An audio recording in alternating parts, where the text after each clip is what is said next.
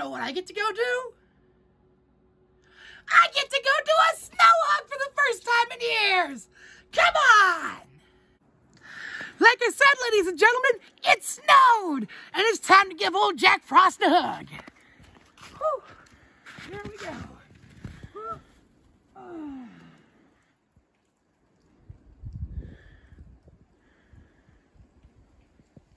Come on, Crispy, you got this.